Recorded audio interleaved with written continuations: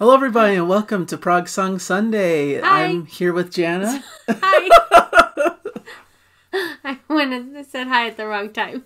Sorry. All right, should we do another? Another. Now it feels forced. Cut. Cut it did out. that. did that Thor thing really, really funnily off camera. Yeah. So we tried to recreate it, but then it was It just fake. didn't work. Sorry, everyone. But it was good. Throwback to Isn't that like Full House? Full House. Yeah. Man, we're da- we're dating ourselves, or Yeah. exposing how young we are, depending on your perspective. But yeah, people call you a kid all this time, all the time. Yeah, like, but what does this kid know about Prog? And you're like, I'm like I'm almost old. forty.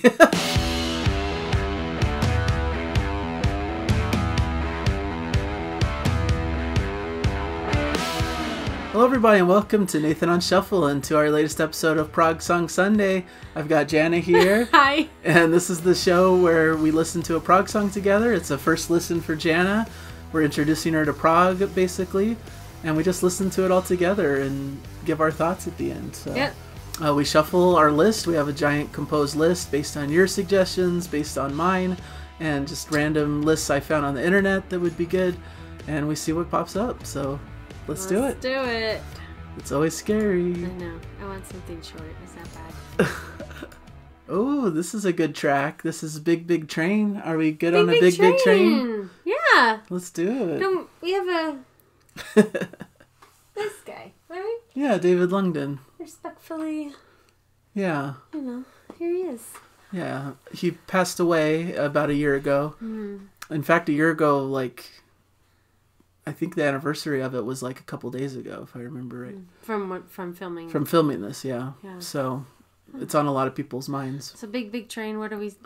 So this track is called Victorian Brickwork, and this Okay. is from the album The Underfall Yard. This is the first album with David Longdon on vocals. So this is to me where the new newer iteration of the band really started, the one that I prefer the most and that Mm-hmm. really catapulted them to being a lot bigger stars in the prog world. So uh, just a really great track. All right. So this should be a very nice listen, I Twelve think. minutes.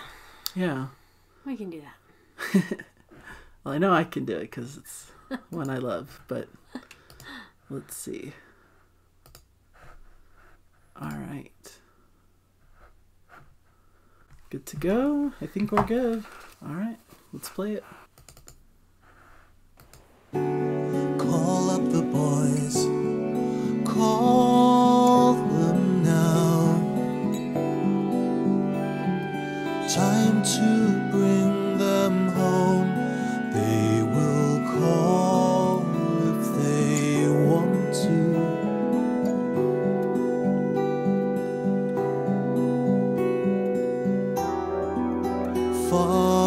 Fog the search. Lost at sea, lost in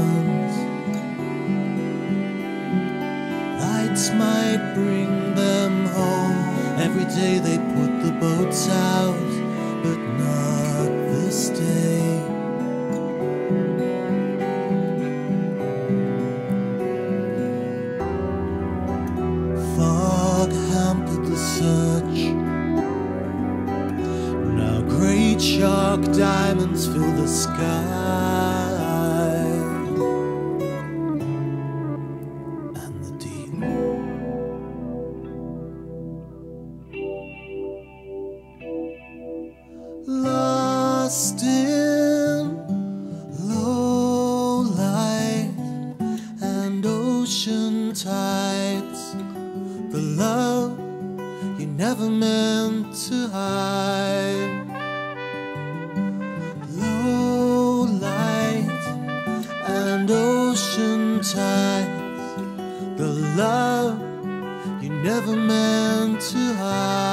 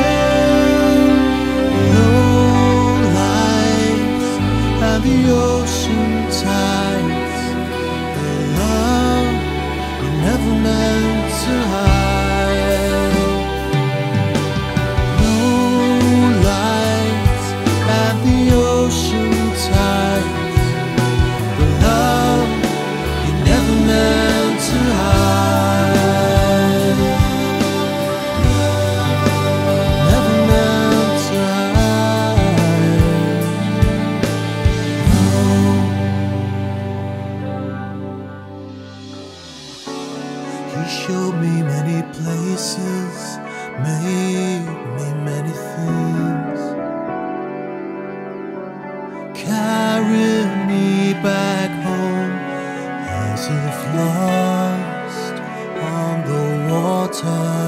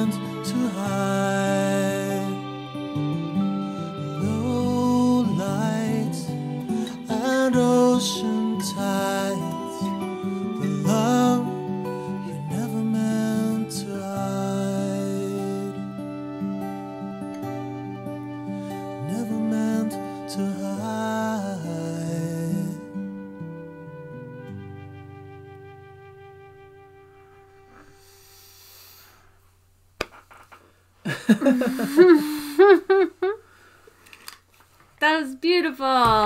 Yeah. That was beautiful. Yeah. I thought when it started, I thought we were going to be listening to a 12 minute ballad, and I was just like, well, it's pretty, but is it going to do other things?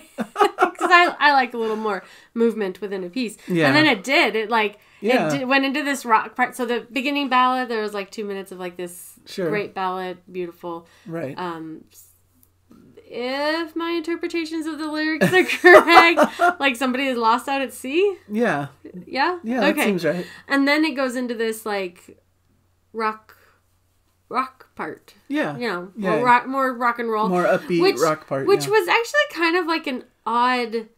It had like odd beats. Like it would seem like all the different instruments are playing their own melody, and sometimes I'm like, wait, where's the beat? I can't find it. You know, because I like to have a beat to ground myself in right. the song. Yeah. Um, but then there was like a moment where it locked in and everybody was together and it was great. And then it did some more ballad at that point, some more of the lyrics. But then there was a large musical section Yeah. until like the last like minute. There weren't any more um, Yeah. lyrics, weren't any more words. And so there was that whole last musical section and it just, it was, it was so great. It was great. Like, Yeah. like it just Beautiful. built and built and built and built, and uh, there was a point where I was just like, "Oh, this is so wonderful! It's so good." Yeah. I love So- that so much. And then it ended with a little bit of those lyrics again, which yeah, just a beautiful. call back to those lyrics. Yeah. Yeah. yeah. What really blew me away with this upon like first discovering this album is just the use of the brass section. Like there's these Yeah. Beautiful gorgeous majestic horns and I think there's some strings in there. They're just a band that really utilizes a lot of other instruments into their sound to build up these layers and the to build this like sweeping emotional uh, climax and all of that stuff. It's just adds so much to the beauty of the piece, you know. And you've got David Longdon's vocals, which are on their own, just really stunning and beautiful too, and just great melodies. And so this has always struck me as just such a beautiful piece from the group, and a, a great like.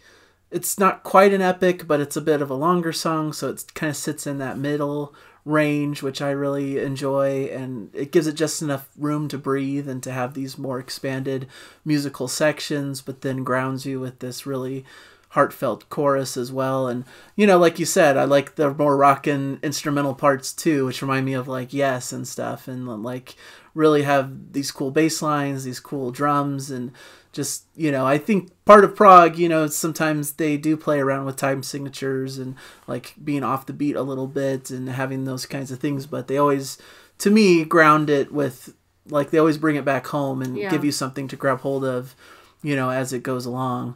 And so I think that really helps. And this piece just really is a gorgeous piece that I've always enjoyed and thought of as one of their best classic songs. You know, this was always the track that stood out to me along alongside the big epic that comes later in this album too, the title track. But this always Mm-hmm. stood out to me as one of their best early songs. Yeah, it's beautiful. What's it called again? It's called uh, Oh, the Victorian bricks. yeah. Victorian brickwork. brickwork. Yeah.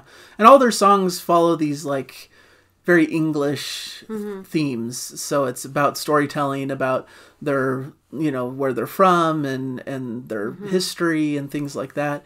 And so it's really cool to delve into that side of it too to get more of this historical perspective and these stories about a lot of times about their childhood, about like their upbringing in this area of the world. You know, I, you know, we're not from the UK, so it's a cool spotlight into Mm-hmm. an area we, you know, haven't been to before. And I watch a lot of movies see. that are set in the UK. yeah, so That's a lot. a lot. Yeah, so it's just a, a beautiful piece. I guess there's not much more to be said, but Yeah, it's just great. really gorgeous. Wonderful, beautiful. I recommend You really it. liked it? I did. Yeah. Yeah, and so this is a great piece. Um, thank you guys for joining us. Hopefully, you guys enjoyed Mm-hmm. it like we did. Um, hopefully, you'll like and comment and subscribe and all of the Subscribe YouTube type things that are asked. to all the YouTube type. do all the. YouTube stuff. Ring the bell. Do the subscribing. Smash that subscribe. sub- smash it all. but yeah, any support is much appreciated, Mm-hmm. and thank you guys just for watching. Every view of these videos really helps, and helps me gauge people's interest in the types of music that we cover and that type of thing. So thank you guys for your support and just keep enjoying the music out there. Bye, everybody. Bye.